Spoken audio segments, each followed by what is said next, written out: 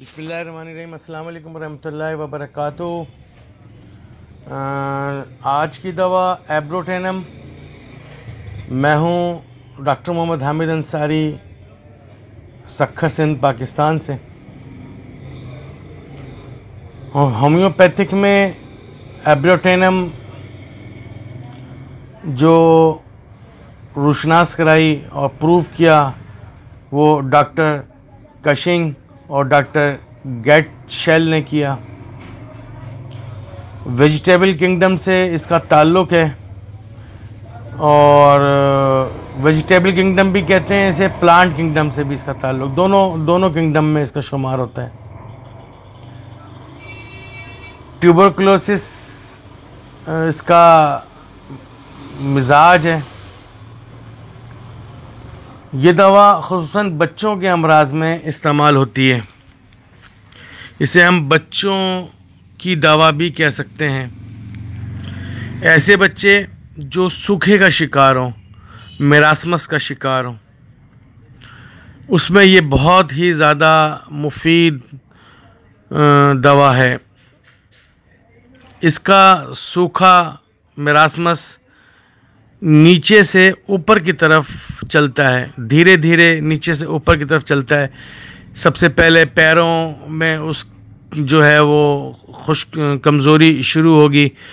पाँव का गोश आहिस्ता आहिस्ता ख़त्म होना शुरू हो जाएगा और फिर वो आहिस्ता आहिस्ता पिंडलियाँ पिंडलियों से रान रान से फिर पेट आ, कमर का हिस्सा और फिर उसके ऊपर चढ़ता जाएगा।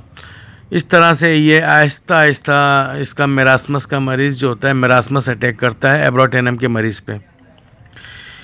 इसकी बीमारी एक जगह से दूसरी जगह पर चले जाना, इसका ये दूसरा की सिम्टम है, यानी कि इंतकाल मर्ज़।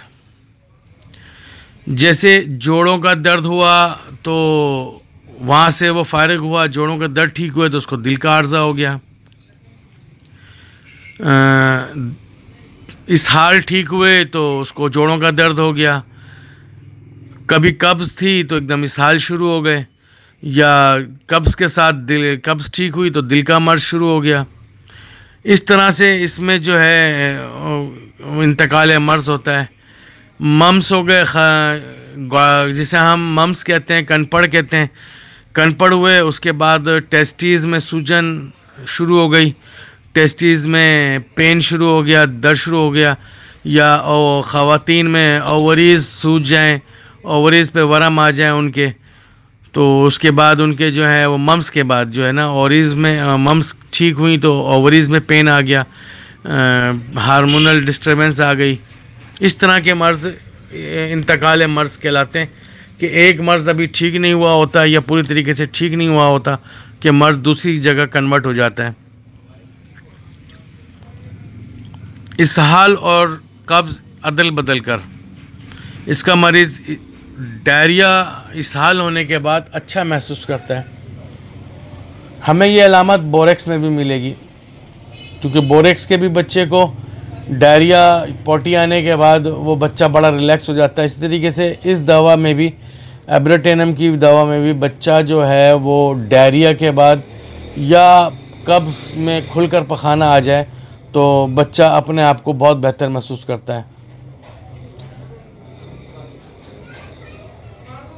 एन, नाफ से पानी का रसाव होना या खून मिला पानी या खून का रसाव होना, ये शीरख्वार बच्चे, दूध पीते बच्चों के अंदर ये सिम्टम पैकुलर सिम्टम है, मखसूस सिम्टम है, पाई जाती है। ऐसे बच्चे जो माँ का दूध पी रहे हों, माँ के दूध के पीने के ज़माने में उनकी नाव से पानी का सा अखराज या खून मिला मवाद का अखराज का होना, ये इसकी मेन सिम्टम है। इसकी अलामत शाम को और रात को बढ़ जाती हैं। ठंडी नमदार हवाएँ इसे तकलीफ़ देती हैं। दर्दों की जगह बदलते रहना कि पहले यूँ समझ लें कि कभी एड़ी में दर्द हुआ, एड़ी से पिंडली में आ गया पिंडली से पेट में आ गया, पेट से कमर में आ गया, कमर से रान में आ गया, मुस्तकिल जगहें बदलता रहेगा दर्द। Changeable pain.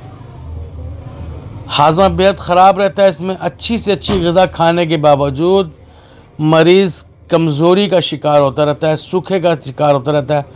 मरीज़ में नातवानी होती है, कमज़ोरी बेनता होती है, निढाल रहता है। इसके पेट, इसका जो एब्राटेनम का मरीज़ होता है, जो सूखे का मरीज़ होता है, मेरासमस का मरीज़ होता है, उसका पेट बाहर को निकला हुआ होता है, ढोल की तरह।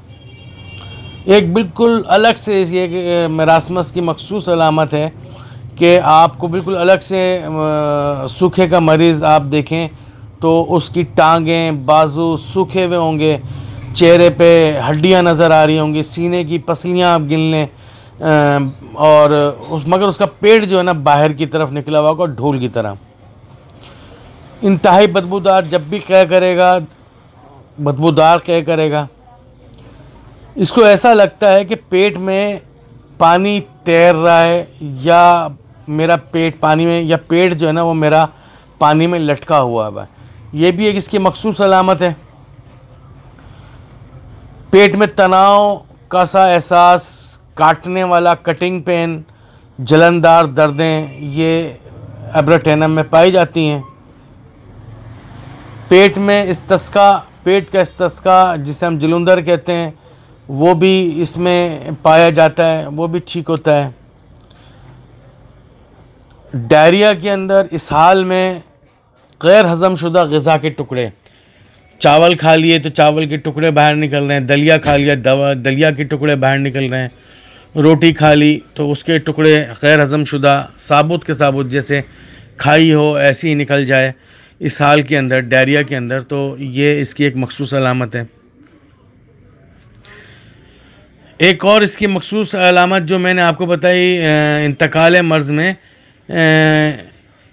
इस हाल डायरिया हुआ बच्चे को डेंटेशन के ज़माने के अंदर, वालदेन ने या डॉक्टर ने उसको एकदम रोकने की दवा दे दी और डायरिया रुक गया।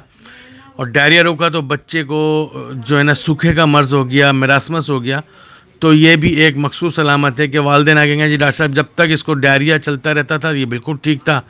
अब जैसे इसके दस्त बंद हुए हैं तो इसको जो है ना, ये सूखे का मर्ज़ हो गया, ये कमज़ोर पे कमज़ोर हो जा रहा है। हम तो बहुत अच्छा खिलाते हैं, पिलाते हैं। उसके बावजूद बच्चा कमज़ोर जो है, हो, हुआ जा रहा है। तो आपको ये जो सिम्टम मिले तो फिर आप एब्रोटेनम को यूज़ कीजिए इन बहुत अच्छा रिज़ल्ट मिलेगा। एब्रोटेनम में डायरिया के दब जाने के बाद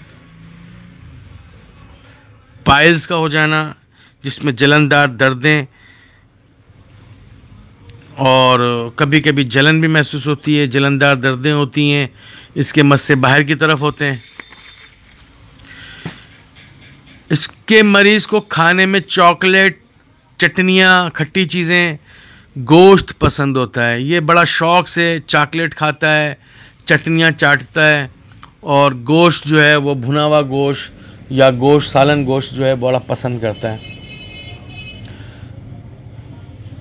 इसके एक अलामत और भी बड़ी मखसूस है कि एवराटेनम के मरीज़ को अगर दर्द वाली जगह को वो बार बार हिलाएगा तो उसको सुकून मिलेगा। जैसे इसकी उंगली में दर्द हो रहा है तो उंगली को ऐसे बार बार आगे पीछे हिलाता रहे, आगे पीछे घूम हिलाएगा तो उसे सुकून मिलेगा। या घुटने में दर्द है, घुटने को बार बार आगे पीछे करेगा, चलता रहेगा, उसको हरकत से जो है सुकून मिलता है इसके मरीज़ को, दर्द वाली जगह पे।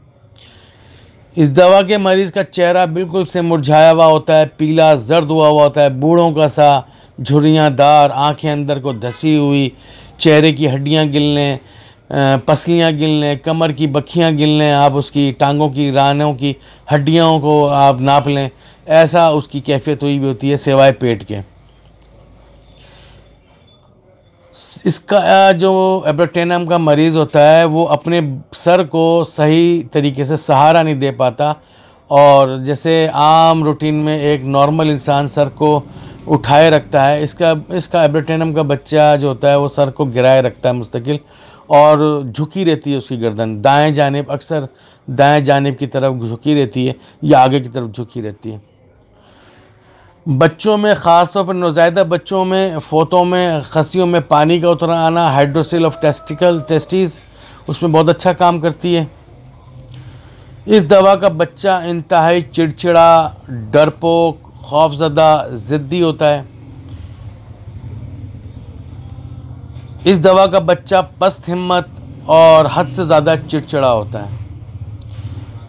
ऐसा ज़िद्दी के बहरहमी पे उतर आता है। बहरहम महसूस हो रहा होता है, ऐसा ज़िद्दी ज़िद्दी पना दिखाता है। इसका मरीज़ दिमागी लिहाज से बेनतहा कमज़ोर होता है, दिमागी मेहनत नहीं कर सकता, जो ही दिमागी मेहनत करता है, उसके सर में दर्द होना शुरू हो जाता है अपने आप को थका हारा सा महसूस करता है, और दिमागी मेहनत जैसे पढ़ाई वगैरह करना है, कोई सोच विचार करनी है तो वो छोड़ देता है, और उससे जो है ये कथा ताल्लुक़ हो जाता है। फिर जब जैसे फ्रेश होता है, फिर थोड़ी देर के बाद जब कोशिश करता है तो उसके अंदर फिर यही कैफियत होती है तो इसलिए दिमागी लिहाज से ये बहुत ज़्यादा कमज़ोर होता है। ये एब्रोटेनम के ऊपर एक छोटा सा मखसूस लेक्चर छोटी दवा पर बहुत बड़ा काम करने वाली, बच्चों को ज़िंदगियाँ बख्शने वाली दवाइयों में शुमार होता है। अल्लाह ताला हम सब का हामी नासिर हो। अल्लाह ताला हम सब के इल्म में इजाफ़ा फरमाए।